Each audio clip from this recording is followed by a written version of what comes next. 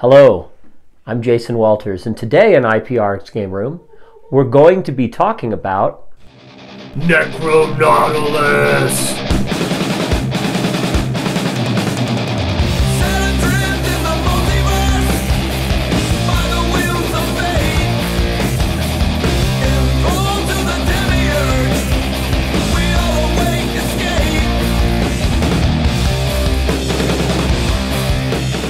All right, today we're going to tech, uh, talk about the stoner metal inspired game Necronautilus. Now, AC had already actually not only read Necronautilus, but backed it on Kickstarter, and the fact that it's here is because she had discovered it. Uh, but as as the company's actual like resident stoner metal fan, uh, I felt sort of morally obligated to be the one that does the review of this. Uh, I'd like to start out by saying that when I read the book, uh, I made a point of listening to the Sword's Warp Riders during the entire time because, in fact, basically this game is the Sword's Warp Riders, more or less. So, um, Necronautilus is a game in which you play. Uh, clouds of poisonous gas who have been sent out by death to explore, catalog, and deal with issues uh, in the afterlife. But the afterlife in Necronautilus takes the form of an infinite galaxy of everything that ever has been or ever will die. Uh, with death being the active concept. Now, you work for death. You are literally called uh, death agents. Uh, and you have a ship. The ships are called Nautiluses and they are bizarre, undead, kind of uh, cephalopodic, or whatever have you want to define it, necromantic spaceships. Um, you travel between planets uh, on them uh, to uh, deal with things that death wants uh, either uh, observed or solved.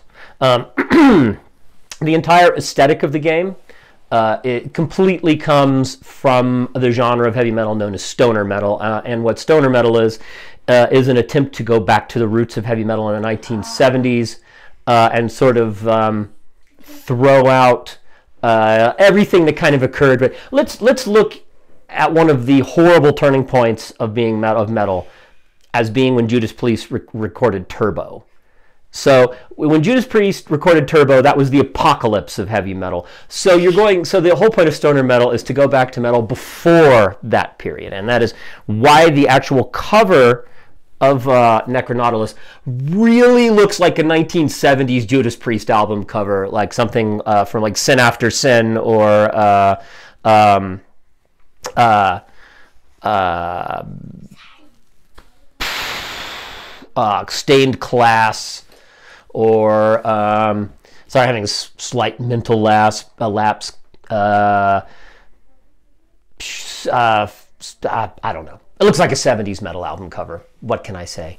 Um, so the entire aesthetic uh, of the book internally, which I will uh, I will show you a little bit of, uh, and there is also a, a very helpful zine supplement, which I'll, I'll which does some structural things. I'll come back to that in a minute. Uh, as you can as you can see in this, you're really looking at the aesthetic, the visual aesthetic of this game, being uh, that uh, it's as if it was drawn by that guy with the Megadeth T-shirt that sat in front of you in your junior year of high school, carving things literally onto his desk. That guy, that guy did the art for this. Um, uh, so those are the basic narrative elements. You are a group of poisonous gas clouds with slivers of soul stuck in them, being sent by death through a sort of 1970s science fiction afterlife, like traveling the galaxy, doing things for death. There you are. Now, structurally, though, the game's very interesting from a gamer's perspective. And that's not really what the game's about. The game is actually more about memories and words. So, your uh, character sheet, which is, of course, a surrealistic skull. I mean, of course. Um, that again looks like it was drawn by the guy that sat in front of you in your junior year of high school. Um, it is a list of both power words because you have vast influence over the over the running of reality based on your power words and kind of a reservoir of words you can use but aren't yet power words uh, and words sometimes expand or suffer from their use in this game. So you could literally lose letters out of your words and have to restructure them depending on the game effects. Um, memories are extremely important. You begin the game with none. You, you have one memory of your previous life. Uh, and that memory is the reason you became uh, a, death agent. Um, so you, you have that memory and it is the foundational memory of your character. Uh, you also have kind of uh, a certain number of life points that can max out at 30 or deplete all the way to zero. Now you're already dead. And in fact, everything you're encountering is dead, except some things aren't dead. Some things actually get born and come to life in this undead galaxy, which is very confusing, but there you are. Don't worry too hard about it. The way this all works is you have a sliding scale of zero to, to 30 life points. And uh, if you if you achieve 30, your gas cloud, poisonous gas cloud body, body actually consolidates into a semblance of your previous life body, and you basically remember your previous life, and death fires you. if you're lucky, death finds some nice undead planet to put you on where you can go do your yucky living thing. Uh, but death is not enthusiastic about that. Um, or if you get all, but if you lose your life points, and all sorts of in-game effects can cause one or the other, and it's tied to and triggered by often by memories. You acquiring memories of who you were, slides your life scale up and down. Um, if you uh, if you get down to zero, your gas cloud dissipates, and you, I, I guess you're just sort of a hovering undead spark waiting to get their act back together again.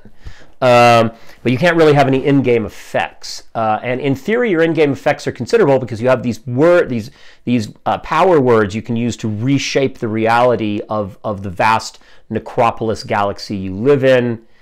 Except there's pushback. Now, structurally in this game, it is based on conflicts between yourself and the crew of your Nautilus uh, and various uh, worlds that you spontaneously create as you arrive at them uh, through a pretty simple and, and amusing process having to do again with words. Everything's about words in this game, words and meaning.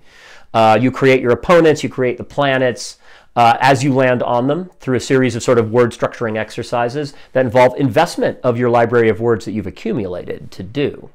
Um, uh, the uh, result of this uh, is that you, you, do go through a series of conflicts as you go to each planet, and those conflicts revolve around um, pie chart pie charts, really, basically. Um, which you have a circle, and depending on the complexity of the adversary or situation you're dealing with, have anywhere from like two to eight slices. Uh, and each step of the way, uh, as you narratively complete something, another slice gets filled in. So this is obviously a, a concept uh, borrowed um, from um, Blades in the Dark. It was the first time I ever saw it. Maybe it was out there somewhere before, but the first place I ever saw it was Blades in the Dark. Uh, and it's a really useful concept because though you do, there are gamist elements to this game. There are points, you have to track them. Really, it's not about that. It's really about word pools uh, and extending words and getting new words, uh, which which actually comes in uh, where where the supplement, the zine supplement, comes in. It, includes a lot of new words. Uh, it includes uh, a lot of new memories. Uh, your your reason for becoming a death agent is called your reason. Includes a whole list of reasons. Um, so not only do you spontaneously uh, create um, uh, planets and creatures on the planets using words to assemble them through simple exercises, the same thing goes through the missions that death sends you on.